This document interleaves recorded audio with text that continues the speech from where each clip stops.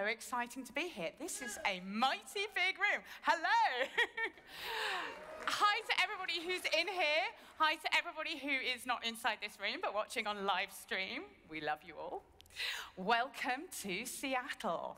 Or I could say, welcome back to Seattle. Who was here in 2016 when there was a KubeCon? I can see a few, it's hard to see, but I can see a few hands. There are slightly more of us here today. there are about eight times as many people here today. There are 8,000 people here at KubeCon Cloud Native Con. That's pretty amazing, right?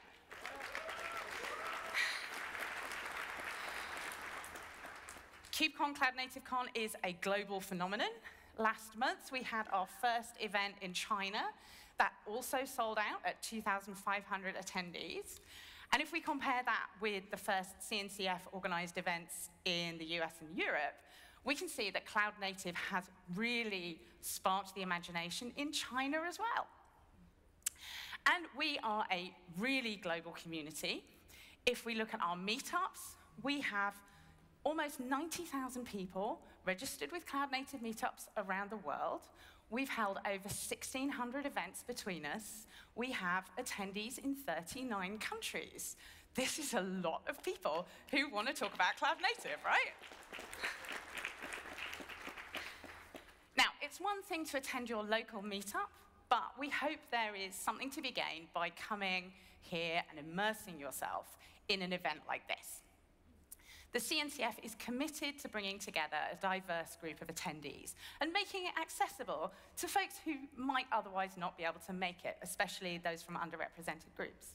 So it's fantastic to see a generous budget of $300,000 that meant we could invite over 140 people to join us here in Seattle.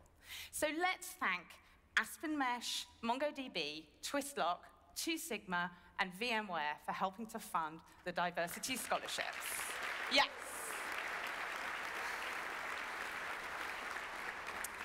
So here's another up and to the right graph. There are a few of these this morning. Last month, there were over 1.8 million visits to the Kubernetes website. And I saw that and I thought, well, what does that mean? How does that compare to some popular brands that we know? Since we're here in Seattle, let's compare it to the Seattle Seahawks. Right, I want you to tell me, do you think there are more visits to Kubernetes? Is it higher or lower than the Seattle Seahawks website? Higher or lower? It is higher. Kubernetes is massively more popular than the Seahawks. All right. Let's try another Seattle brand. What do you reckon? Higher or lower? I think mostly you're right. I'm hearing more lowers, and yeah, we are not quite as popular as coffee. We've got a little way to go. All right, let's try one more. We've seen that Kubernetes is more popular than the Seahawks, but what about a proper football team? Kubernetes plays Manchester United. Who do you think is going to win? Okay? This is pretty, pretty surprising.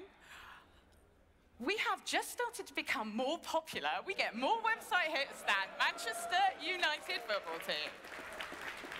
Amazing, right? Behind this is a huge growth in membership. We have over 300 companies who are CNCF members.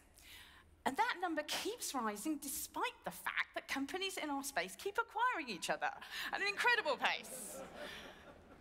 You've seen this pace of M&A activity has really picked up in 2018. We have a huge number of contributors in this community. Notice in that vertical axis there, that is exponential. Nearly 26,000 people contribute to Kubernetes alone. Over 46,000 people have contributed to the CNCF family of projects. It's a lot of people. Don't worry if you're not a contributor. There are a lot of people here who are new to the community and just getting started. You'll have a lot of opportunities to learn over the next three days. Doesn't need to end there. You can study online. For example, there is a free introductory course on Kubernetes, and almost 50,000 people have signed up for that already. You can build on that to study for certification as a Kubernetes administrator or Kubernetes application developer, and over 4,000 folks have this certification already.